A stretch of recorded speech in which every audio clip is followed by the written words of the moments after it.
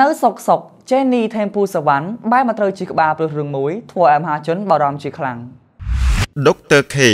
ថែសម្រាប់លោកអ្នកថិតថេរជានិរន្តរ៍សិប្បកម្មរ៉ារីរសជាតិដើមនៃប្រជាជនខ្មែរ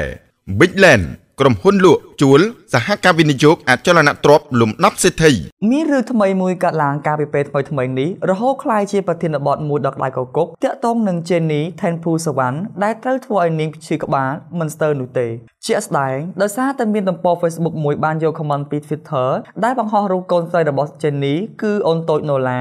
និងថែមទាំងបានសរសេរភ្ជាប់ពាក្យសម្ដីមិនសមរម្យគ្មានសុជីវធម៌និងធ្វើឲ្យប៉ះពាល់កិត្តិយសសម័យខ្លួនជាខ្លាំងប៉ុន្តែទោះជាយ៉ាងណា បន្ទាប់ពីឃើញផុសនេះហើយមហាជនក៏សម្ដែងការបំពេញចិត្តនិងនាំគ្នាការពារ Jenny និងកូនស្រីដែលភ្ជាប់ជាមួយនឹង